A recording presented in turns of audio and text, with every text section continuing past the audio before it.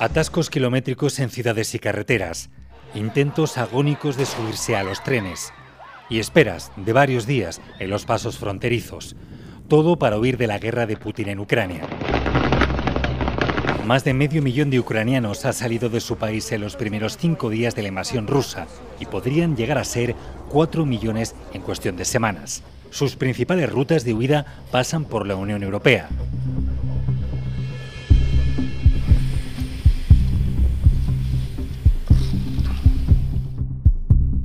La frontera por la que más ucranianos han salido hasta ahora es la de Polonia, donde tienen una numerosa comunidad de compatriotas.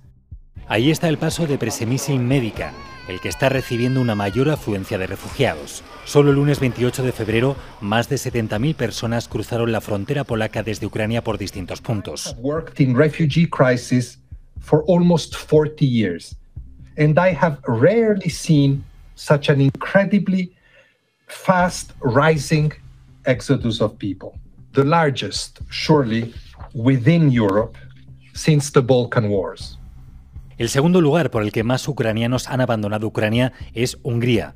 El país, gobernado por el ultraconservador Víctor Orbán, llegó a levantar una valla durante la crisis de los refugiados sirios de 2015, pero esta vez sí ha abierto sus fronteras a las víctimas.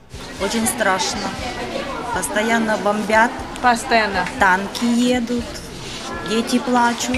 Очень страшно. Очень.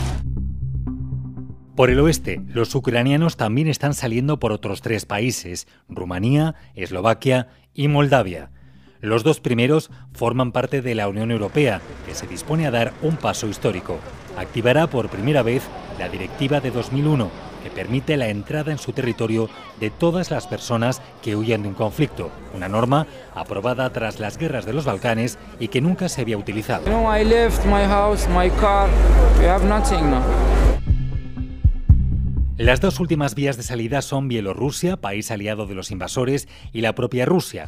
Muchos civiles fueron evacuados de las repúblicas separatistas del Donbass al ser reconocidas por Putin. Todos estos refugiados son solo la punta del iceberg. Un millón de ciudadanos que han tenido que abandonar sus ciudades no han podido salir de Ucrania, según datos de ACNUR.